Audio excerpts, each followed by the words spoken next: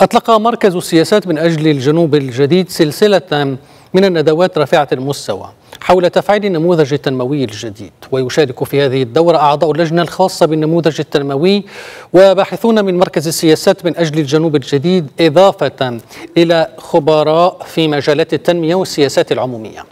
وفي أولى الجلسات سلط المشاركون الضوء حول موضوع حكمة الإصلاحات التي يوليها تقرير النموذج التنموي الجديد أهمية بالغة ويجعلها في قلب التحولات الاقتصادية والاجتماعية.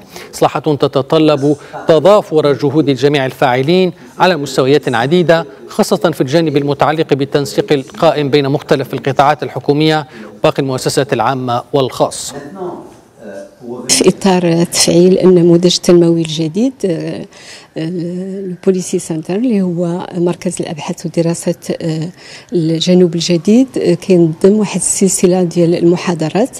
الأولى والمحاضرة هي اليوم حول حكامة الإصلاحات.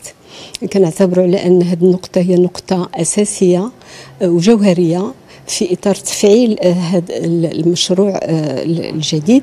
وهذا النقاش اليوم غادي يفتح واحد الأفق من أجل تبادل الآراء بين مختصين وبين قطاع يعني المسؤولين ولكن كذلك باحثين من أجل نظر في شنو هما الإمكانيات لدعم في إطار تفعيل وإطار وضع حكمه جيده